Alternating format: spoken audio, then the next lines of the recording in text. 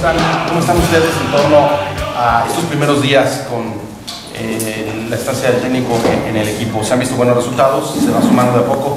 ¿Qué sensación les ha dejado este primer trámite de la estancia de Jaime Lozano? Eh, sin duda nos, nos, deja contentos por los resultados que han obtenido. Tenemos confianza en que el equipo va a ir creciendo. ¿no? Hemos visto en estos tres partidos un, eh, eh, un crecimiento en la idea futbolística que pretende Jaime, que pretende él y su cuerpo técnico. Los jugadores poco a poco van entendiendo esa idea, la trabajan todos los días de la mejor manera y estoy convencido de que el equipo va creciendo futbolísticamente conforme avancen los entrenamientos y los partidos. Estamos contentos por el desarrollo del trabajo, ¿no? tanto de Jaime como de su cuerpo técnico en esta, en esta etapa de algunos reajustes de algunas cosas. Eh, ha sido un trabajo de tiempo completo, muy profesional, con la idea de que los jugadores del equipo tengan la mayor información posible de cara a cada partido y que sobre todo dentro de la cancha pues se manifieste no eso que pretende Jaime y que creo que por momentos el equipo así lo ha mostrado. Nos falta evidentemente mayor trabajo, nos falta ser un equipo más consistente pero creo que con el trabajo diario y con el profesionalismo que han demostrado los jugadores y el cuerpo técnico, vamos a ir avanzando. Con la calificación a la segunda fase de Copa, ¿crees tú que se le pueden dar minutos a jóvenes en los dos juegos que todavía le quedan a Querétaro? Digo, sin duda eh, es, es, algo positivo, ¿no? El hecho de que con solo dos partidos jugados ya se haya logrado el pase a los resultados de final. Esa decisión, como ha sido con los técnicos que han estado en el equipo, depende directamente de Jaime y de su cuerpo técnico. Tienen ellos plena confianza en, las fuerzas básicas, en los jugadores jóvenes, pero de parte de nosotros tienen todo el respaldo para la decisión que tomen. Desde mi punto de vista, si, me piden mi opinión, creo que es un buen momento, sería un buen momento para, darle eh, oportunidad a jugadores jóvenes que han venido mostrando crecimiento y que han venido mostrando talento, pero pues al final de cuentas el que toma la decisión es, es Jaime y, y, la vamos a respaldar. Gracias. Joaquín, con los avances que has manifestado ahorita con este nuevo cuerpo técnico, ¿qué tanto le ves posibilidades al equipo que en verdad pueda aspirar a una liguilla?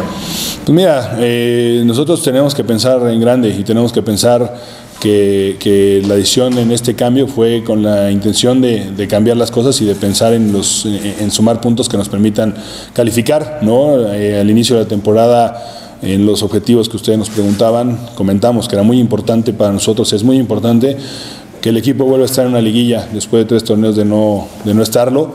Y, bueno, se dio un buen paso el, sábado. Hay que mostrar mayor consistencia, hay que mostrar esa ambición desde el primer minuto en cada partido. Creo que si el equipo va creciendo, eh, eh, puede, puede eh, aspirar a, pensar en una calificación. Más allá, sobre todo, como lo mencionaba con Sergio, que, afortunadamente pues en la Copa se ha logrado el primer objetivo que era calificar. Hay jugadores como Juan Forlín, como George Corral, jugadores que podrían estar presentes en el primer equipo, Joaquín. ¿Qué, ¿Qué, cabida pueden tener ellos ahora en esa titularidad? Pues mira, eh, se reactivó una competencia interna, son jugadores muy capaces, ¿no? Eh, en el tema de, Juan, eh, desafortunadamente ha tenido por ahí alguna lesión que, le impidió tener mayor continuidad en ese torneo. La verdad es que Irán y Miguel lo han hecho bastante bien. George está peleando todos los días por recuperar esa titularidad que en algún momento tuvo.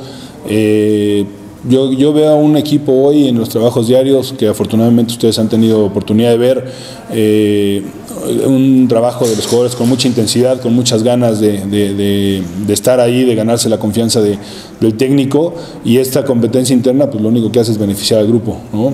Al final, como lo, lo he dicho y lo, lo, lo comento de nuevo, la decisión final la tiene eh, Jimmy y él considera, o el equipo que él considere que, que, puede desarrollar de mejor manera su vida futbolística es el que pondrá y nosotros lo vamos a respaldar.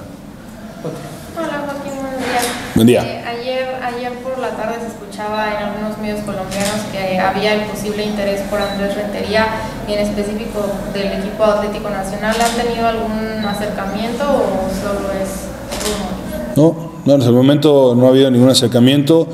Andrés cada vez está entrenando mejor, ¿no? después de la situación de la lesión que vivió. Eh, lo veo con ánimo renovado, lo veo con ganas de, ganarse también esa titularidad de la que comentaba aquí con Mauricio. Y como te digo, lo veo trabajando muy muy bien. Ojalá pronto tenga oportunidad de mostrar su calidad en la cancha. Y, este, pero por el momento está con nosotros y no ha habido ningún otro tipo de acercamiento.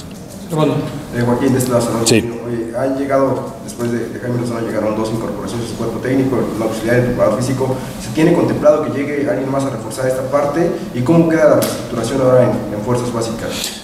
Con mucho gusto, Servando. Eh, estamos eh, por cerrar una última incorporación en el cuerpo técnico. Eh, como bien lo mencionas, eh, llegó el profesor Nicolás Burtoboy eh, a ser auxiliar junto con Gerardo Galindo. El preparador físico es Antonio Clavero, gente de, la confianza de Jimmy que conoció en esa etapa de preparación en Barcelona. Un tipo realmente muy preparado con la nueva metodología en toda la preparación física. Y cuando tengamos ya la última incorporación, que seguramente será esta semana, se las haremos saber con muchísimo gusto. Eh, al incorporarse Gerardo Galindo al primer equipo como auxiliar, queda al frente del, grupo Isidro Valencia, que era su auxiliar. Eh, nosotros, como lo hemos comentado con ustedes, queremos formar a nuestros propios jugadores y también queremos formar a nuestros propios entrenadores. Isidro es un tipo que lleva un proceso ya eh, de mucho tiempo en fuerzas básicas, ha trabajado fuerte. Él se va a encargar a, eh, del equipo sub-20 y se incorpora como auxiliar Diego Cervantes. Vendrá a trabajar directamente con él. Las demás estructura queda como la conocen, no hubo más cambios. Creo que era, pensamos que no era un buen momento para hacer, para hacer más cambios a nivel eh, de fuerzas básicas y, y, así es como queda la estructura, los demás equipos de la misma manera. Joaquín, buenos días, Oscar Ramírez de Canal Sports. Preguntarte eh, acerca de la noticia de Yasser Corona de que ya no va a poder regresar al fútbol, si usted, ustedes como directiva se comunicaron ya con él porque fue su jugador y pues tu opinión acerca de este lamentable hecho. ¿no? Pues, o sea, con Yacer hemos tenido comunicación constante todos porque es un tipo muy querido en esa institución y yo no tengo, yo no pienso en eso que se comenta. Yo estoy con la fe en que Yacer va a ser una gran rehabilitación, que es un tipo que ama el fútbol, que le apasiona jugarlo y que Dios está ahí presente y que si la rehabilitación la hace bien, yo tengo mucha fe en que vuelva a estar en las canchas, ¿no? Por el momento lo que yo sé es que es un tema extraoficial, entonces mientras no sea un tema este, definido, yo creo que hay, que hay que apoyar, hay que estar muy presentes, y hacerlo sabe, hemos estado todos en comunicación con él y que la rehabilitación sea al mil por ciento para que puedas regresar a las canchas, porque como te digo es algo que le apasiona, que le, que le gusta y que todos deseamos ver, verlo otra vez en una cancha de fútbol. más? Sí, Joaquín, eh, parece ser que gran parte de la afición de Querétaro se va a desplazar a, a Aguascalientes, lo cual seguramente es una buena noticia, ¿no?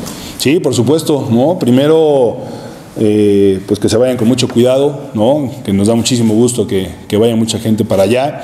Eh, agradecemos y como siempre lo hemos dicho, agradecemos el apoyo, agradecemos el respaldo, agradecemos la exigencia, la, las eh, manifestaciones de inconformidad hechas de, de buena manera, siempre estamos abiertos a, escuchar eh, lo que quiera decir nuestra afición y el hecho de que vaya tanta gente pues nos motiva, ¿no? el hecho de que, de que se haga un esfuerzo grande por parte de la afición de Gallos pues de trasladarse a Aguascalientes, de estar presentes en un partido que es muy muy importante para nosotros, pues nos da muchísimo gusto.